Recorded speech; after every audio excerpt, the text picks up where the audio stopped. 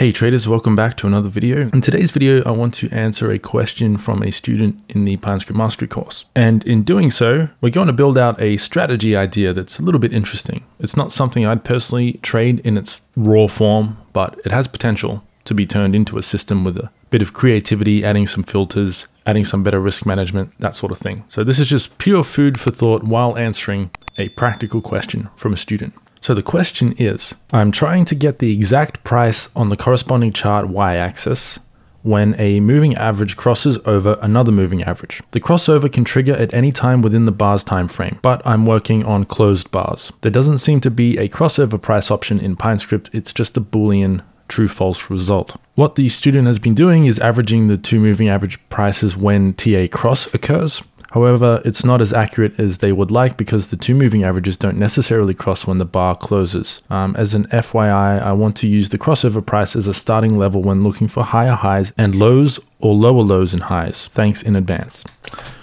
So, uh, the script I have here is one that I built out after I coded an example of how to get the crossover price as just a pure indicator. And then I added some strategy code to turn it into a uh, system, which wasn't part of the question, but I just got carried away because I was curious to see how this uh, concept would work as a trading system. So to start off the video, I'm going to show you how to get the crossover price and draw that onto your chart. And then we'll add strategy functionality to the script to show you guys one, how easy it is to turn anything into a system. And two, just to make the lesson more interesting because otherwise we're just detecting moving average crossovers. And when I make YouTube videos, I like to try and give you guys a little bit more than something that simple. So let's get into the Pine editor and start coding. Okay, so the first thing we need to do when detecting a moving average crossover is obviously get the moving averages. Now you don't need to do this, but I'm going to make these um, user inputs.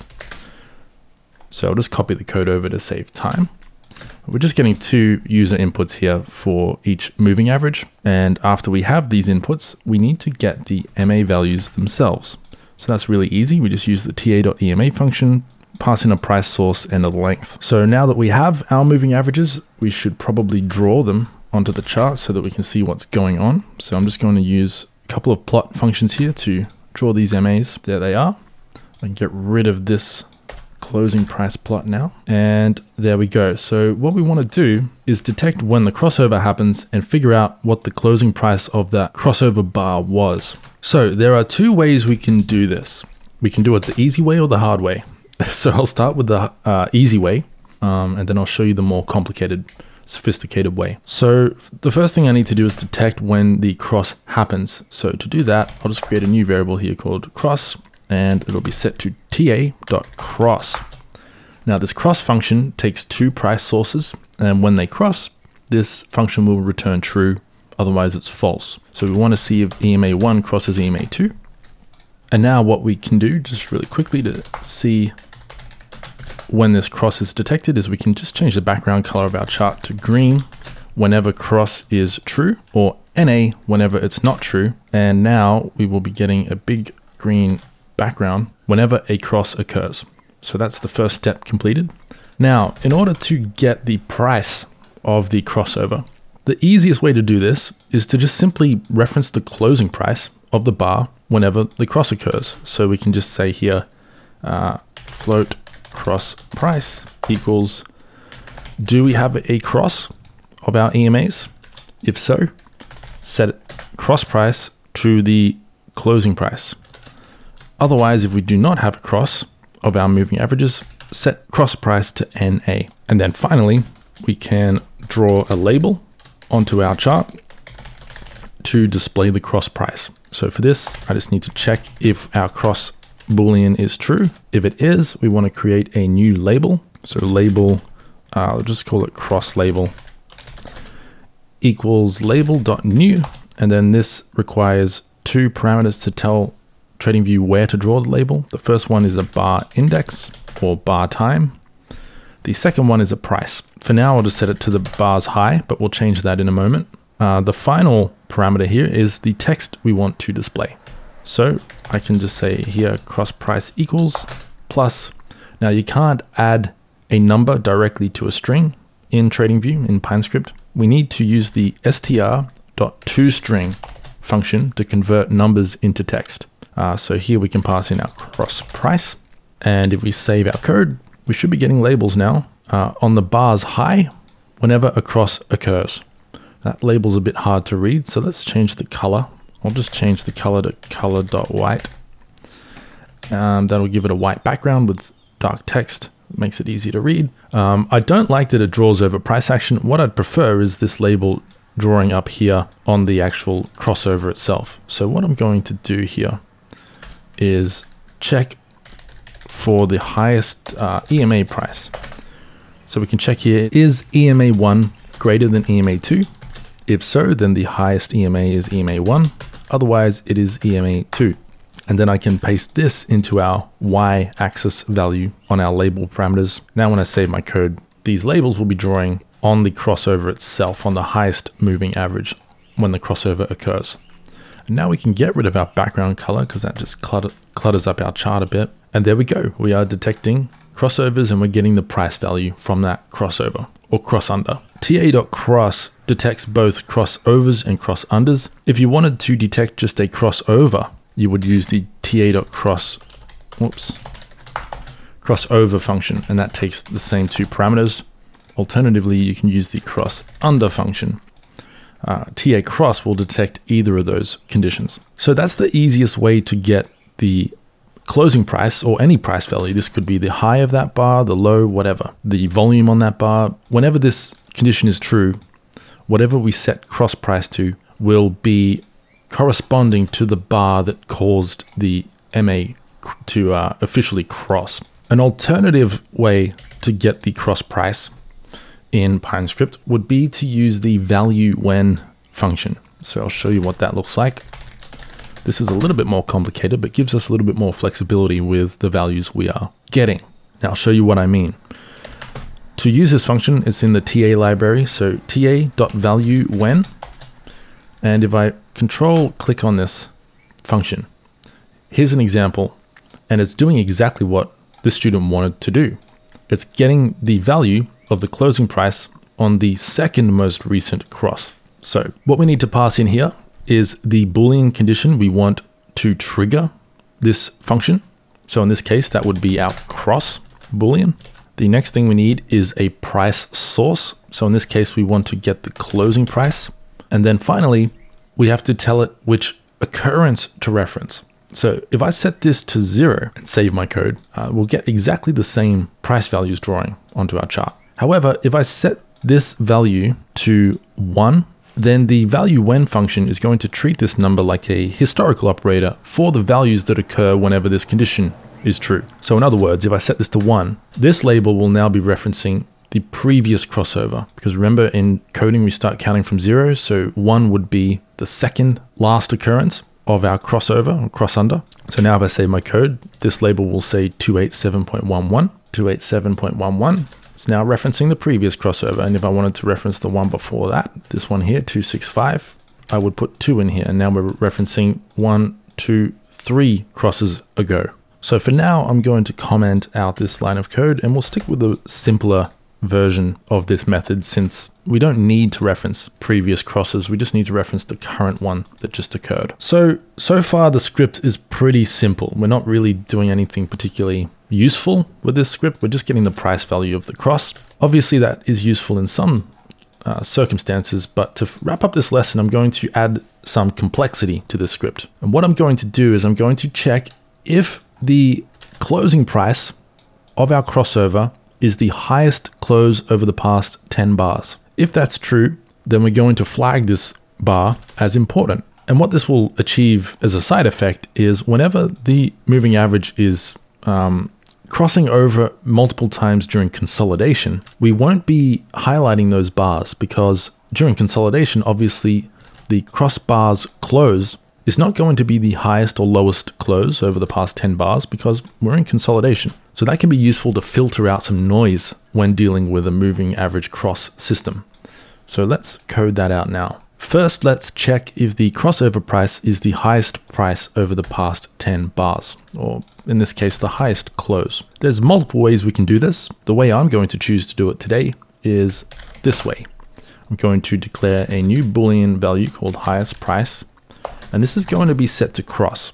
So whenever we have a crossover or cross under, highest price is going to be set to true. But then what I'm going to do is loop from uh, the previous bar right before the cross back to 10 bars ago. And on each iteration of this loop, we are going to check if the cross price is less than or equal to the close on this loop uh, for loop bar. If that condition is met, then we are going to set highest price to false and break out of the loop. And then what I'll do here is I will flag the bar if it is a high or low close. And to do that, I'll just use the background color function. It's the simplest way I know of to highlight a bar. The plot shape function works as well, but I like this method, especially when I'm developing a script. Maybe once I'm finished with the script, I'll add a nicer looking way to flag bars and market conditions, but for now this will do. So I'll set it to color.new, color.green with 50% transparency.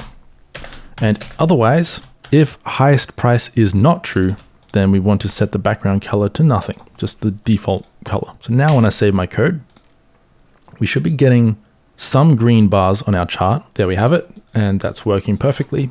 So now we are only drawing the background color green when this bar is the highest close over the past 10 bars. Now the reason we had to start our for loop from 1 instead of 0, which you would typically do, is because if we check if the cross price, the closing price of our crossover is less than or equal to the closing price of the original cross bar, we're comparing the closing price to the closing price and this will return false. So we need to start counting from the bar before our crossover and we count back 10 bars from there and compare the closing price to each bar over that loop. So now I can uh, pretty much copy this um, block of code here, but just flip everything around so that we're checking if the crossover bar or cross under bar is the lowest closing bar over the past 10 bars. And I can paint the background color red when that occurs. And now we are ignoring any crosses that occur in consolidation essentially. And that will give us slightly better quality um, crosses to work with, especially if we're going to turn this script into a system, which is what I'm going to do next. So the code here is pretty simple and self-explanatory. The for loop's obviously a little bit more complex if you're new to PineScript, but everything else is pretty standard, simple stuff. What I'm going to do now is copy over the source code to the strategy version of the script, and I'll just explain the changes I made to this original code base. So here's the strategy script. Now the first part of the script is identical, other than the fact we've changed the script to a strategy script and we've set the default quantity type to a percentage of equity and the default quantity value to 100. So this means we'll be investing 100% of our account balance on each trade by default, but we can obviously change that in the properties of the script settings. Then we're getting our MAs, drawing them to the chart. And then here I've expanded our crossover detection code just slightly. So now I'm differentiating between crossovers and cross unders this is so we can go long and short. Uh, we want to be going long when the shorter term EMA crosses over the longer term EMA. And we want to be going short when the shorter term EMA crosses under the longer term EMA. So I need to differentiate between those two. We still have our cross boolean here, and this is going to be true if either of these conditions are met. Then we get our cross price, just like before. Then we check if the crossover price, the closing price of the crossover or cross under bar is the highest or lowest closing price over the past 10 bars. And then we're flagging when the bar is the highest closing bar over the past 10 bars during a crossover condition or cross under condition. And here's the biggest difference in the code compared to the last script. So here we're checking if we have a cross condition, then we're drawing our label like we were in the previous script, but then we're checking if highest price is true and our strategy position size, the backtester position size is flat equal to zero, then we enter a long position. Or alternatively, if we're flat and the current bar is the lowest closing priced bar over the past 10 bars, after a cross has occurred, then we enter short. Now these should really say uh, cross over and cross under. And so if we get a cross or cross under and this code gets executed, we go long if we're flat and the current bar is the highest close over the past 10 bars after a cross. And highest price will only be true if we've had a crossover and that bar is the highest close over the past 10 bars, and then the opposite for short trades. And then finally, we just exit our trade if the current bar's closing price is less than our short-term EMA. So here we get our crossover. The short-term EMA crosses over the long-term EMA. The bar that caused that crossover is the highest close over the past 10 bars. We enter long and then we hold our position until price closes below our short-term EMA. Then we exit on the next bar's open. Uh, we're investing 100% of our account balance on each trade and we're on the one hour time frame here and you can see that this system shows potential. Now this is just one data sample. It's not enough to tell whether or not this system is actually actually profitable. We've only got 74 trades here. This could be pure luck. And I haven't taken the time to check how robust this system is because it's just, it's not really something I would personally trade. This is all purely just for example purposes to give you guys some food for thought and just demonstrate how you can create a simple base for a system, in this case using moving average crosses. Now, obviously, we could improve the system by adding more filters, by adding better risk management. Um, I think this exit condition is adequate, but there could be better systems out there, such as a trailing stop um, or an exit reason. Uh, better filters could include things like verifying momentum. So you could use the ADX for that, rate of change. You could check the RSI value. If the RSI value is above a certain threshold, then you can consider momentum to be strong. You could check if the current bar's size is greater than the recent ATR value. There's dozens of different techniques you could employ to improve this system. Uh, those are just some examples. Then obviously you can tweak the moving average length. So we could go much shorter if we wanted to. And now we get significantly more trades. We can see how that affects the system. Much more return, but also greater um, drawdown. So there's obviously pros and cons to whatever you do with this sort of approach to a system. Uh, there's different time frames, so we could check how the daily chart performs. Um, now the daily chart's only taking nine trades, so that could be an issue you may need to lower the moving average period for higher time frames so that we get more trades. But anyway, you get the idea. Hopefully this answered the original question for the student who asked it. And hopefully you guys found this interesting um, and some food for thought when developing your own trading systems through the TradingView strategy tester. I'll wrap this up here. The source code, as always, is below. You can go and play around with this and um, see how you would improve it. If you have any suggestions in the comments section, please let us know. I'm always curious to see what techniques you guys employ in your own trading. But for now, that will do it for this video. Just before we wrap up this video, I just want to remind you guys that I've started a weekly email newsletter um, that you might find interesting. In this newsletter, each week I share a resource, a technique, a book, a blog post, a podcast, anything that I've found um, to be extremely valuable in my own trading. Uh, I share it on this weekly email newsletter. There's no marketing, it's not a sales thing, it's just a way to share value with you guys and give people a reason to be on a mailing list. Because if you're anything like me, uh, you hate signing up to mailing lists because it's usually just spam or marketing or some annoying thing like that. I'm trying to change that trend by, uh, especially in the trading space by just providing pure value to you guys. In the latest uh, email newsletter, I gave a list of my favorite Chat with Traders podcast episodes. There's 28 of them here. I've listened to every Chat with Traders podcast ever released, every episode, and this is a compilation of the ones that stood out to me that I got value from. Either I learned a new technique or insight um, from one of these episodes. And so if you're interested in that, go to theartoftrading.com. You can sign up to the mailing list and I'll speak with you there. Gets sent out every Wednesday. Otherwise, if you're not interested in that, that's fine. I will speak with you next Friday when I release the next YouTube video. Best of luck with the trading. Take care and I'll speak with you soon.